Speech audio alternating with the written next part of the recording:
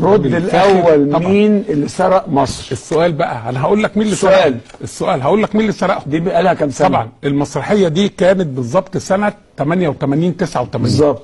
في المنطقة ديت وكان مسرح جلال الشرقاوي. بالظبط. مسرح جلال الشرقاوي في شارع رمسيس وأنا رحتها ودخلتها. أنا من ضمن أنا من عشاق المسرح. المسرحية دي دخلتها ست سبع مرات يمكن.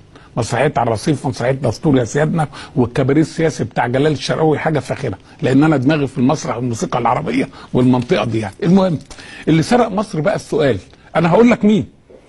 طب أنت هتعمل له إيه؟ بس نعرف. آه أنا ونستفيد من تجاربنا. حلو. أنا؟ النهارده مسكت حرامي سارق فرخة بتاعت واحد. آه. آخد منه الفرخة وأروحه لا. ولا آخد منه الفرخة وأقول له عيب يا يا قليل. لا، مش. عيب. ما خلينا إحنا مؤدبين. عيب آه. يا ولد. ما تعملش كده تاني. ليه القانون بيعاقب الناس؟ واحد اللي خالف ياخد عقوبته واللي ناوي يخالف يرتدع.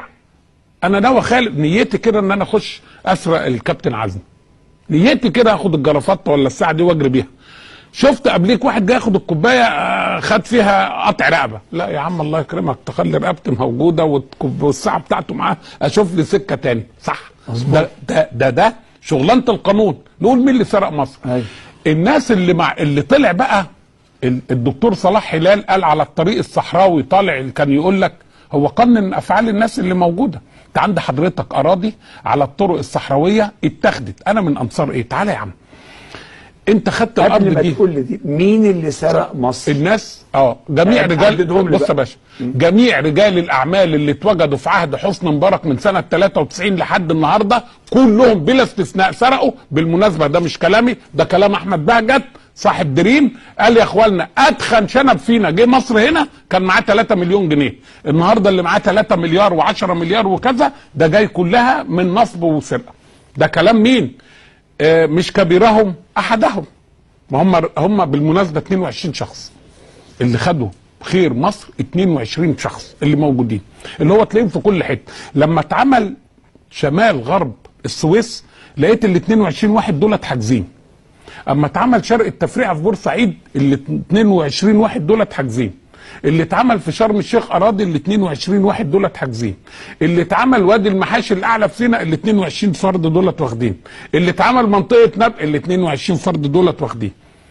السؤال بقى هل الفساد ده واحد كده أفسد؟ ده شبكة بالمناسبة عشان تبقى بس عارف. الفاسدين مع بعضهم جدعان جدا مع بعض. من غير ما يعرفوا بعض تلاقيه بيخدم على بعضهم زملاء. ز- زميله لا جدع قوي. هات الناس الكويسة متفرقين عن بعض. متفرقين عن بعض. للأسف الشديد كل واحد. متفقين على إيه؟ ده هو ده متفق إن أنا أخطف القصة دي تفضل ميتة.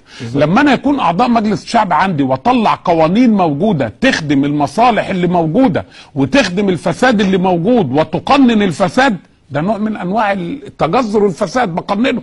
لما يطلع قانون يقول لحضرتك والله لو صلاح جوده سرق وسعادتك شفته بيسرق ومسك الكوبايات الثلاث كوبايات ولا الكوبايتين دول سرقهم ومسكته بالسرقه وبلغت عنه تاخد مكافأة؟ لا والله، طب يا عم متشكرين تقول لي جواب شكر؟ لا والله، سيادتك صلاح جودة سرق قد إيه؟ 30 جنيه، تدفع سيادتك 10 جنيه فيهم. ده أنا اللي مبلغ. ده ده الحرامي، لا هو ده القانون. هو ده القانون السؤال بقى سيادتك هترضى تبلغ عن صلاح؟ لا متشكرين، القانون ده اللي عمل أحمد عز بالليل، واللي وافق عليه فتحي سرور كبير الكهنة بالليل، واللي خده زكريا عزمي كبير هقول إيه همان بالليل، واللي مضاه حسني مبارك بالليل. طيب نراجع حق مصر